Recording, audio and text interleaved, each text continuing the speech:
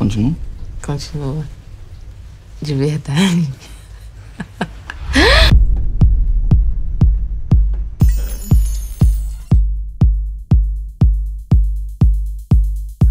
Você sabe que não é minha parada, Nath. Você nunca vai entender se você não experimentar no seu Eu não tô falando sobre isso, Nath. Tô falando.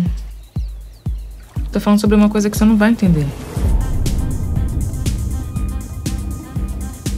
Essa parada é sobre confiança. Sobre troca. Isso é brincadeira pra você? Você tá com medo? Tô.